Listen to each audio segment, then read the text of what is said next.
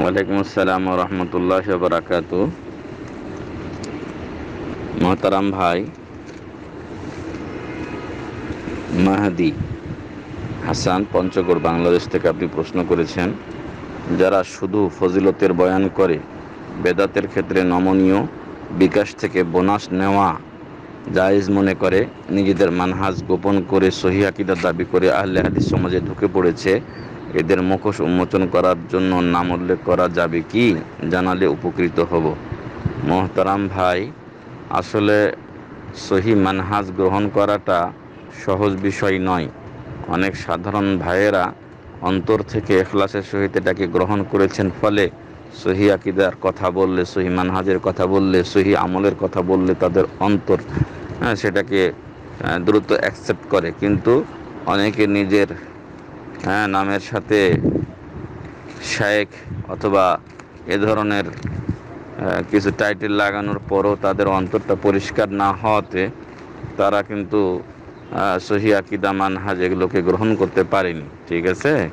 তো ইমাম মুসলিম রহমতুল্লাহ আলাই তার ইমাম ইমাম নওবী রহমতুল্লাহ আলাই মুসলিম শরীফের ব্যাখ্যায়, সহি মুসলিমের ব্যাখ্যায় এক জায়গাতে বলেছেন যে বেশ কিছু লোকের গিবোধ করা বা তাদের ভুলটা ধরিয়ে দেওয়াটা জায়েজ জনসম্মুখে যাতে করে মানুষ ক্ষতি থেকে বাঁচতে পারে। ঠিক আছে ভাই?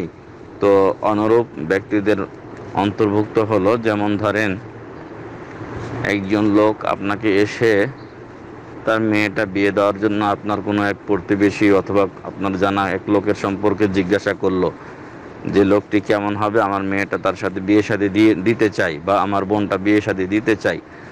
আর আপনি জানেন যে ওই লোকটা তেমন সুবিধার নয়, হয়তো নেশা করে অথবা তার আরও অন্য খারাপ চরিত্র আছে। তাহলে আমার তো অবস্থায় আপনার জন্য জায়েজ যে আপনি তাকে সতর্ক করবেন যাতে একজন ভালো মানুষ হ্যাঁ একজন বাজে লোকের দ্বারা প্রতারিত না হয় এবং ক্ষতিগ্রস্ত না হন।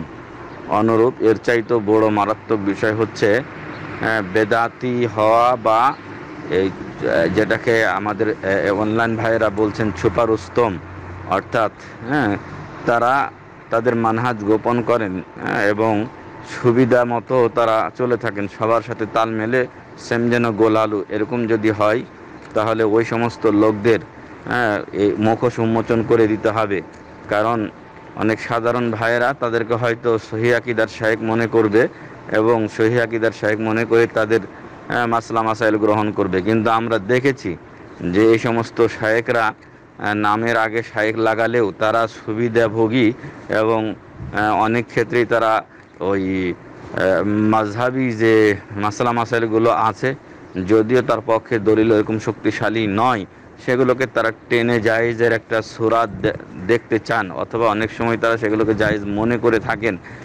আর এদেরকে দেখবেন না কোনো সময় সহি মানহাজের কথা বলতে, সহি আকিদার কথা বলতে, ঠিক আছে? এরা সব সময় ওই যে আপনি বললেন যে ফজিলতের ওয়াজ করবে, বিভিন্ন ধরনের মানুষকে হ্যাঁ ওই মুখরোচক শব্দ শোনাবে বা বয়ান শোনাবে।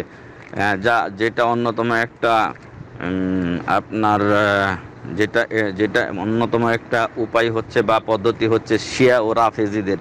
শিয়া রাফিজদের ইয়া হলো বড় বড় স্লোগান দেওয়া এবং বড় লম্বা ব্যানার ফেস্টুন, প্লাকার্ড এগুলো ব্যবহার করা। মনে হচ্ছে যে রসুল সাল্লামের প্রেমে তারা ফেটে পড়ছে, অথচ তারা ইসলামের মধ্যে তাদের কোনো অংশই নেই। তারা রসুল সাল্লামের স্ত্রীদেরকে কাফের বলে, তারা রসুল সাল্লামের সাহাবাদেরকে কাফের বলে।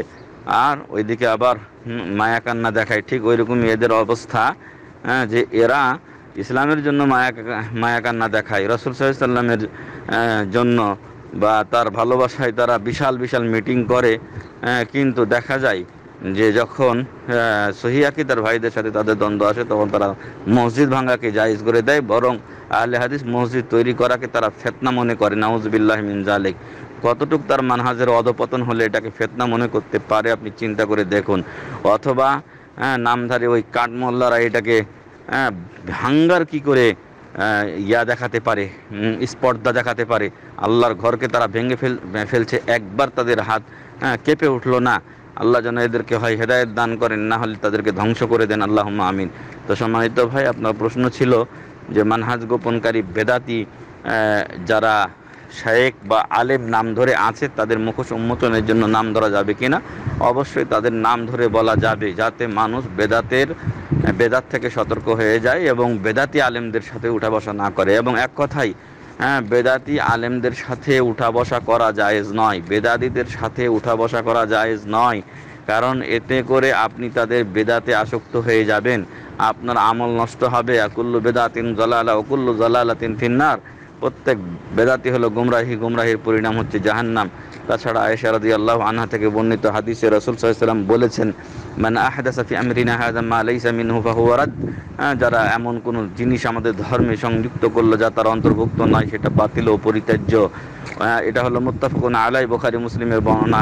আর আরেকটি বর্ণনা যেটা মুসলিম শরীফে রয়েছে মানে আমিলা আমালান লাইসা আলাইহি আমরনা ফাহুয়া রাদ্দুন।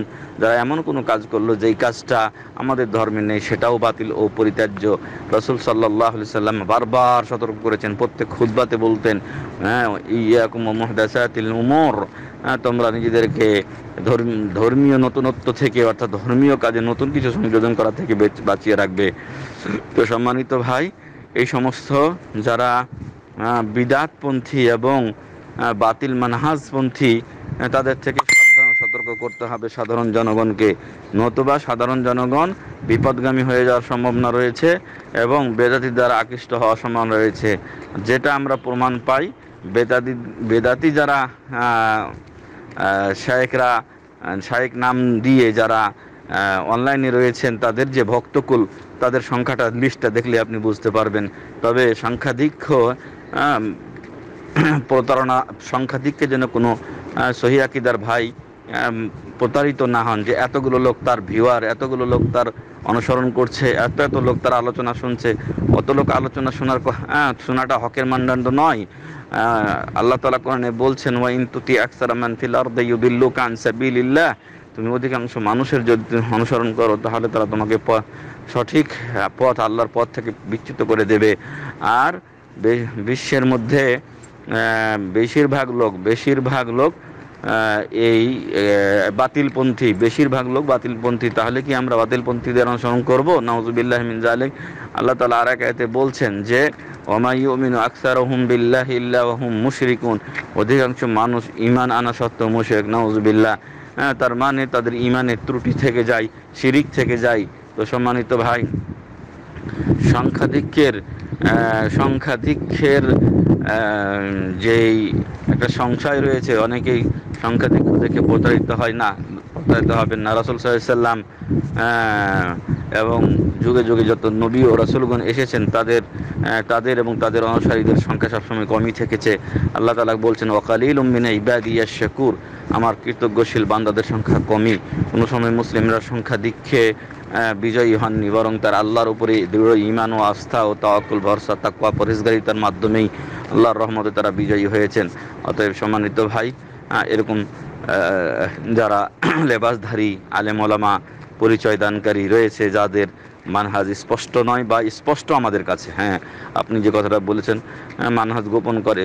আসলে মানহাজ গোপন করে নাই, ওরা আমা, ওদের মানহাজ আমাদের কাছে স্পষ্ট। ওরা দেওবন্দি এবং জামাতে ইসলামী সব মিলিয়ে গোলাল মার্কা আলোচনা করতে চায় সবারই মন জয় করে রাখতে চায় না, এটা হতে পারে না ইসলাম, ঠিক আছে? এই জন্য কোনো এক শাহেক স্পষ্ট করেই তার ভাষাটা বলেছিল। কিন্তু হয়তো ভাষাটা করা শোনালেও বাস্তবতা কিন্তু তাই বলে। আল্লাহ এদেরকে হেদায়ত দান করুন এবং তাদের খারাপি থেকে আল্লাহ আমাদের সবাইকে এবং সহিদার ভাইদেরকে হেফাজত করুন।